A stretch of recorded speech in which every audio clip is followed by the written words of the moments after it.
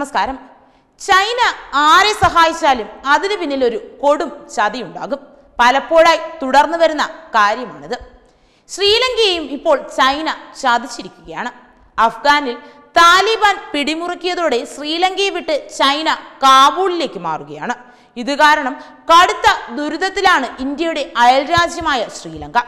കോവിഡും ശ്രീലങ്കയെ വല്ലാതെ പിടിച്ച് ഉലച്ചിട്ടുണ്ട്. അന്താരാഷ്ട്ര സമൂഹത്തിന്റെ പിന്തുണ അനിവാര്യമായ സമയമാണ് ഇത്. ചൈനയിൽ നിന്നുള്ള കടമെടുപ്പാണ് ശ്രീലങ്കയുടെ നടുപിടിച്ചിരിക്കുന്നതെന്നാണ് റിപ്പോർട്ടുകൾ സൂചിപ്പിക്കുന്നത്. ശ്രീലങ്കയിൽ റേഷനരി പോലും കിട്ടാനില്ല. നീണ്ട നിരയാണ് കടകൾക്ക് മുന്നിൽ. എൽ ടി ടിയും ലങ്കൻ സൈന്യവുമായി വംശീയ യുദ്ധം നിൽക്കുമ്പോൾ പോലും ഇത്തരമൊരു സാഹചര്യം ഉണ്ടായിട്ടില്ല എന്നാണ് റിപ്പോർട്ടുകൾ പറയുന്നത്. കോവിഡ് ലോക്ക്ഡൌൺ ആകട്ടെ നീണ്ടുപോവുകയും ചെയ്യുന്നു. തകർന്നടിഞ്ഞ വിനോദസഞ്ചാര മേഖലയും കുതിച്ചുയരുന്ന പണപ്പെരുപ്പവും മൂല്യം കുറയുന്ന ശ്രീലങ്കൻ രൂപയുമെല്ലാം പ്രതിസന്ധി രൂക്ഷമാക്കിക്കൊണ്ടിരിക്കുകയാണ്. സാമ്പത്തിക അടിയന്തരാവസ്ഥയിലാണ് ഇപ്പോൾ രാജ്യം. അവശ്യ വസ്തു വിതരണത്തിന്റെ മേൽനോട്ടം പട്ടാളത്തെ ഏൽപ്പിച്ചിരിക്കുകയാണ് പ്രസിഡന്റ് ഗോദ്ബയ രാജപക്സെ. ഇത് സംഘർഷങ്ങൾക്കും കാരണമാകുമെന്നും വിലയിരുത്തലുകൾ വ്യക്തമാക്കുന്നു. കള്ളപ്പണം തടയാനൊന്നുമല്ല ഭക്ഷ്യവിതരണം നിയന്ത്രിക്കാനാണ് സർക്കാർ അടിയന്തരാവസ്ഥ പ്രഖ്യാപിച്ചത്.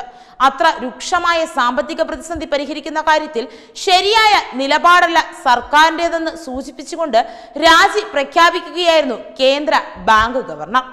ഭക്ഷ്യവിഭവങ്ങളിൽ നല്ല പങ്കും ഇറക്കുമതി ചെയ്യുകയാണ് ശ്രീലങ്ക ഇപ്പോൾ ചെയ്യുന്നത്.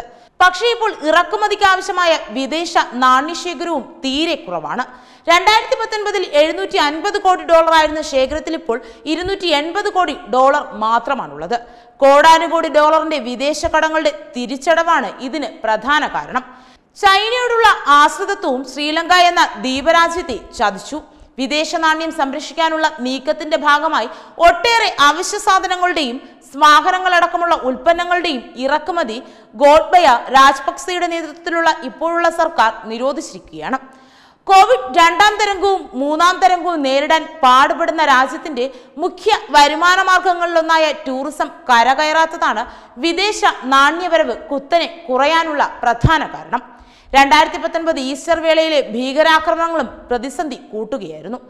വികസന പദ്ധതികൾക്കായി ചൈനയിൽ നിന്ന് കടം വാങ്ങിയതിന്റെ തിരിച്ചടവ് പ്രതിസന്ധിയിലായപ്പോൾ പ്രശസ്തമായ ഹമ്പൻതൊട്ട രാജ്യാന്തര തുറമുഖവും ചേർന്നുള്ള ആയിരത്തി അഞ്ഞൂറ് ഏക്കറും തൊണ്ണൂറ്റി ഒൻപത് വർഷത്തേക്ക് ചൈനയ്ക്ക് കൈമാറേണ്ടി വന്നിട്ടും കരകയറാനാവശ്യമായ സാമ്പത്തിക തന്ത്രങ്ങൾ സ്വീകരിക്കുന്നതിൽ സർക്കാർ പരാജയപ്പെട്ടു. അനിയന്ത്രിതമായ കടമെടുപ്പാണ് ശ്രീലങ്കൻ സാമ്പത്തിക രംഗത്തെ പെട്ടെന്ന് തകർച്ചയിലേക്ക് നയിച്ചതിന്റെ പ്രധാന കാരണങ്ങളിലൊന്നാണ് റിപ്പോർട്ടുകൾ വ്യക്തമാക്കുന്നത്. ശ്രീലങ്കയുടെ കടങ്ങൾ സുസ്ഥിരത പാടെ തകർത്തു. രണ്ടായിരത്തി ഇരുപതിന്റെ അവസാനം ശ്രീലങ്കയുടെ കടം ജി ഡി പി അനുപാതം നൂറ്റി ഒന്ന് ശതമാനമായിരുന്നു. രണ്ടായിരത്തി ഇരുപത്തിരണ്ടോടുകൂടി ഇത് നൂറ്റി എട്ട് ശതമാനമായി ഉയരുമെന്നാണ് കണക്കുകൂട്ടൽ. രണ്ടായിരത്തി ഇരുപത്തിയൊന്ന് രണ്ടായിരത്തി ഇരുപത്തി അഞ്ചിനുമിടയിൽ വിദേശ കടം വീട്ടാനായി മാത്രം ശ്രീലങ്കയ്ക്ക് നാനൂറ് മുതൽ അഞ്ഞൂറ് കോടി രൂപ വരെ യു ഡോളർ ആവശ്യമായി വരും. അതോടൊപ്പം ശ്രീലങ്കയുടെ ബജറ്റ് കമ്മിയും പേയ്മെന്റ് കമ്മിയും കുത്തനെ ഉയർന്നു. രണ്ടായിരത്തി ഇരുപത്തിയൊന്നിൽ നൂറ് കോടി ഡോളറിന്റെ കടം വീട്ടിയതോടെ വിദേശ നാണ്യ കരുതൽ ഇരുന്നൂറ്റി എൺപത് കോടി ഡോളറായി ചുരുങ്ങി. സാധാരണ വായ്പയെടുത്ത് പരിഹരിക്കാവുന്ന പ്രശ്നമാണെങ്കിലും കുറഞ്ഞ ക്രെഡിറ്റ് റേറ്റിംഗ് കാരണം വായ്പാ ലഭ്യത വെല്ലുവിളി തന്നെയാണ്. നിക്ഷേപകരും ശ്രീലങ്കയെ കൈവിടുകയാണ്.